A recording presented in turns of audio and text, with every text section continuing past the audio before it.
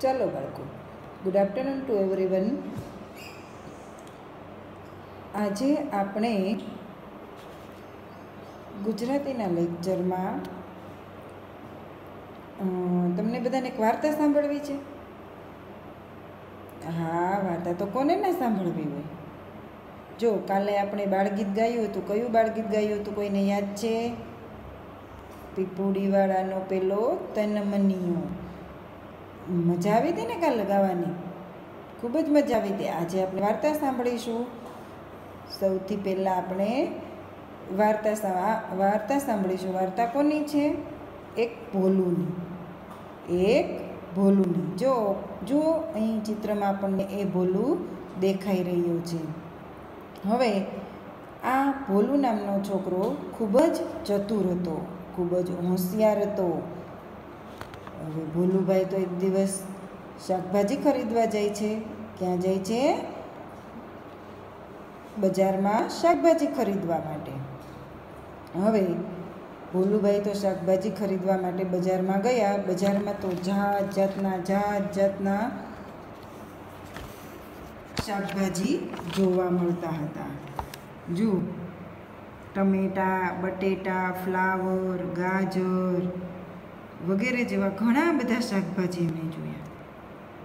હવે, ભોલુભાઈ એક શાકભાજીવાળા બાઈ પાસે જાય છે. આ શાકભાજીવાળા કાકા છે. હવે, ભોલું કહે છે કે, શંભુ કાકા શંભુ કાકા, મારે ભીંડા લેવા છે. શું ભાવ છે ભીંડા? તો શંભુ કાકાએ કહ્યું કે ભીંડા ચાલીસના કિલો. ભીંડા ચાલીસના કિલો. હવે તો શંભુ કાકાએ ભોલુને ભીંડા આપ્યા. ભીંડા તો લીધા, પછી થોડી વાર થયું તો ભોલુનો વિચાર બદલાઈ ગયો કે લાવને બટેટા લઈ લો તો શંભુ કાકાને કહ્યું કે ભીંડા પાછા લઈ લો અને મને તેના બદલામાં બટેટા આપો. શંભુ કાકાએ ફરીથી એક કિલો બટેટા જોખીને વજન કરીને આપ્યા. થોડી વાર થયું, ભોલુનો પાછો વિચાર બદલાઈ ગયો અને ભોલુએ કહ્યું, શંભુ કાકા, બટેટા પાછા લઈ લો ને, મને ટમેટા આપો. ફરી શંભુ કાકાએ બટેટા લઈ લીધા અને ટમેટા એક કિલો વજન કરીને આપ્યા. હવે જુઓ, તમારે તમને બધાને યાદ હોવું જોઈએ કે સૌથી પહેલાં ભોલુએ શું ખરીદ્યું હતું? ભીંડા. ભીંડાના બદલામાં શું ખરીદ્યું? બટેટા. બટેટાના બદલામાં શું ખરીદ્યું? ટમેટા. શું ખરીદ્યું? છેલ્લે ટમેટા. હવે શંભુ કાકા ભોલુને ટમેટા એક કિલો વજન કરીને આપે છે અને કહે છે, લે ભોલું ટમેટા, તું મને ચાલીસ રૂપિયા આપ. ભોલુએ કહ્યું, હા, ચાલીસ રૂપિયા? ટમેટાના ચાલીસ રૂપિયા? શંભુ કાકા કહે, હા. પણ મેં તો ટમેટા તો બટેટાના બદલે લીધા છે. ભોલું શું કહે છે, ટમેટા તો મેં બટેટાના બદલે લીધા છે. તો શંભુ કાકા કહે, હા, તો બટેટાના ચાલીસ રૂપિયા ફરી ભોલું બોલે છે કે મેં તો બટેટા ભીંડાના બદલે લીધા છે. તો શં, શંભુ કાકા કહે, હા, તો ભીંડાના ચાલીસ રૂપિયા. ફરી ભોલું ચતુરાઈ વાપરે છે કે મેં તો ભીંડા તો લીધા જ નથી, કારણ કે ભોલુએ છેલ્લે શું લીધું? ટમેટા. હવે ભોલું કહે છે, મેં તો ભીંડા લીધા જ નથી. તો હું ચાલીસ રૂપિયા શાના આપું. એમ કરીને ભોલું તો ત્યાંથી દોડીને ભાગી જાય છે. હવે શંભુકાકા શંભુ કાકા તો માથું ખંજવાળતા રહી જાય છે. વિચાર કરે છે, આ છોકરાને સાલાને કેમ સમજાવવું હવે ભીંડા લીધા, ભીંડાના બદલે બટેટા લીધા, બટેટાના બદલે ટમેટા લીધા. પણ ટમેટા લીધા, પણ એને ટોટલ ચાલીસ રૂપિયા તો આપવા જ પડે ને ચાલીસ રૂપિયા. હવે તો માથું ખંજવાળતા બેઠા બેઠા વિચારે છે, એટલામાં શકરી કાકી આવ્યા. અને કહ્યું, લો, આ ચાલીસ રૂપિયા. ભોલું તો મસ્તી કરતો હતો. બે ઘડી તમારી જોડે મસ્તી કરતો હતો. અને શંભુ કાકા ખુશ થઈ ગયા. જુઓ આ ચતુર ભોલુની વાર્તા સાંભળી આપણે? જોજો, કેવી રીતે એની ક્યાં ભોલું પોતાની ચતુરાઈ વાપરે છે? શંભુ કાકાને ભૂલ ભૂલામણીમાં નાખવા ભીંડા લે છે ભીંડાના બદલે બટેટા ને બટેટાના બદલે ટમેટા ને વળી છેલ્લે એવું કહે છે કે મેં તો ભીંડા લીધા જ નથી, તો હું શાના પૈસા આપું? આવી રીતે ભોલુ કાકાની ભૂલ ભૂલામણીમાં નાખવાની કોશિશ કરે છે. પણ ખરેખર ભોલું મસ્તી કરતો હતો અને તેમણે શકરી કાકીને ચાલીસ રૂપિયા આપી જ દીધેલા હતા. ચાલો બાળકો, આ વાર્તા સાંભળવાની મજા આવી? મજા આવી ને? હા, તો ચાલો. હવે હું તમને પ્રશ્ન પૂછું છું. ધ્યાનથી મને એના જવાબ આપજો. બજારમાં શાકભાજી ખરીદવા કોણ જાય છે? બજારમાં શાકભાજી ખરીદવા ભોલું જાય છે. હવે શાકભાજીવાળા કાકાનું નામ શું હતું? યાદ રહેવું જોઈએ બધાને. શાકભાજીવાળા કાકાનું નામ શંભુ કાકા હતું. સૌથી પહેલાં ભોલુએ શું ખરીદ્યું ભીંડા. સૌથી પહેલાં શું ખરીદ્યું ભીંડા. ભીંડાના બદલે ભોલુએ શું ખરીદ્યું બટેટા. શું ખરીદ્યું બટેટા. હવે બટેટાના બદલે ભોલુએ શું ખરીદ્યું હતું? ટમેટા.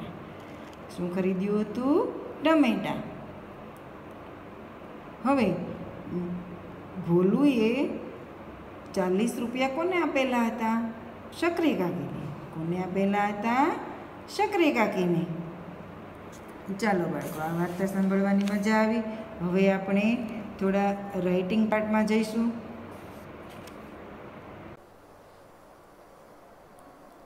ચાલો બાળકો, ગયા લેક્ચરમાં આપણે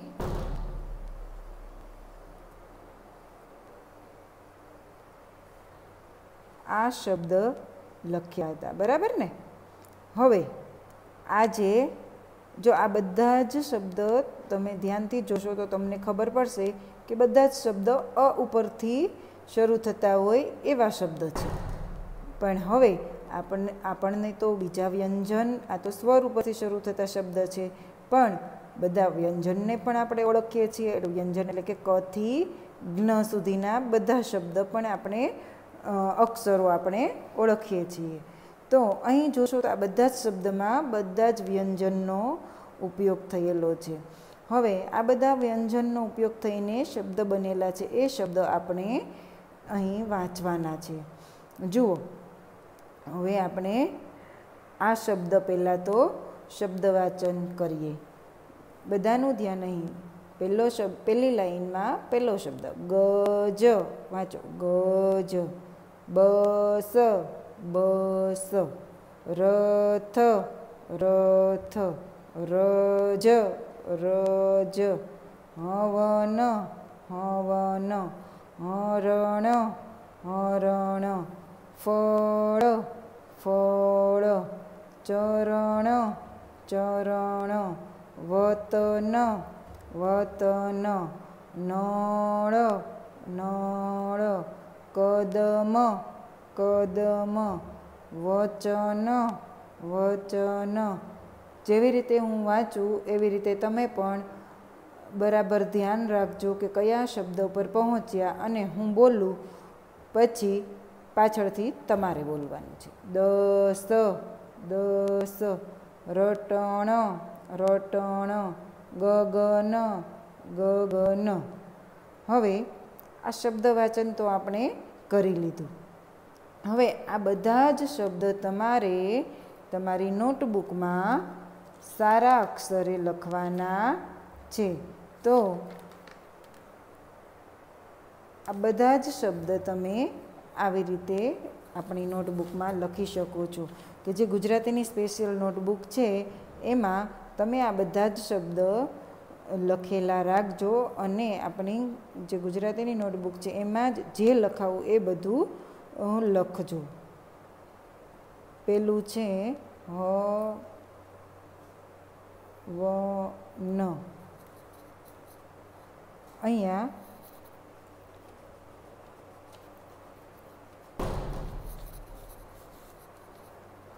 જે શબ્દ લખેલા છે, એ પ્રમાણે જ લખીએ એટલે તમને પણ લખવાની મજા આવે. તો પહેલું શું છે?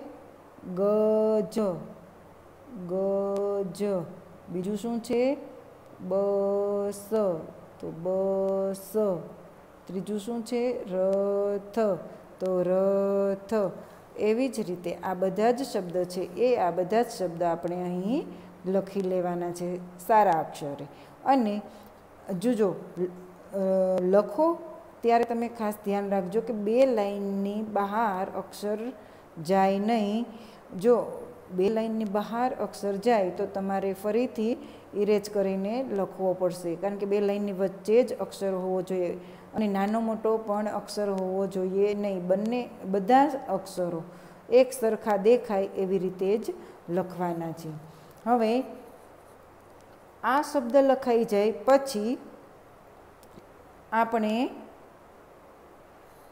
ગુજરાતીમાં થોડુંક હોમવર્ક કરવાનું છે. એ હોમવર્ક પણ તમારે ગુજરાતીની નોટબુકમાં જ લખવાનું છે. કઈ? ગુજરાતીની નોટબુકમાં જ. હવે એ હોમવર્કમાં શું છે? જુઓ અહીં બધા ચિત્ર દોરેલા દેખાય છે તમને. દેખાય છે ને? જુઓ પહેલું ચિત્ર શેનું છે? શું દેખાય છે? ઘર.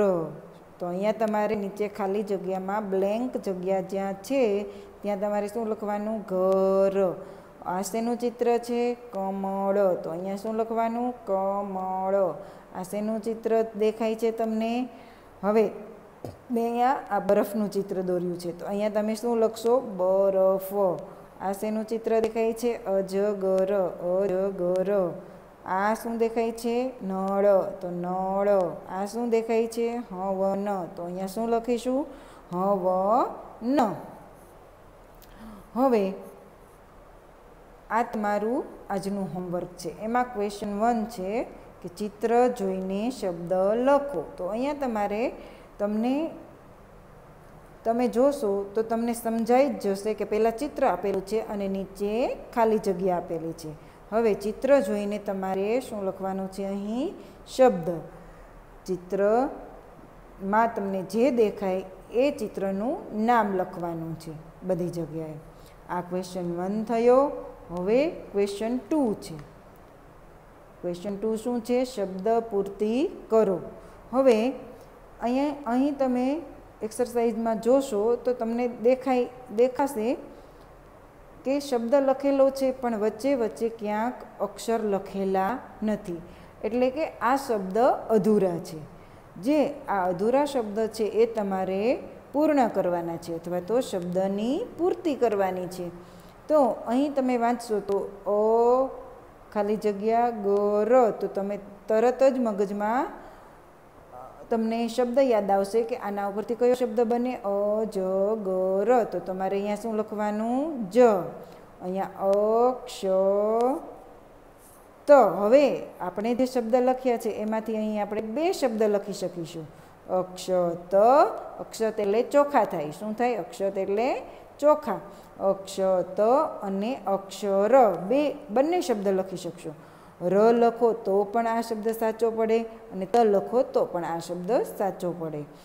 અને અહીં ત્રીજા નંબરમાં છે, હ, ખાલી જગ્યા ન. હ, વ, ન. તરત જ મગજમાં આપણને આ શબ્દ યાદ આવશે કે આ શબ્દ કયો હશે? હ વ ન આપણે જે શબ્દ લખ્યા છે, એ શબ્દમાંથી જ મેં આ શબ્દ પૂરતી મૂકેલી છે.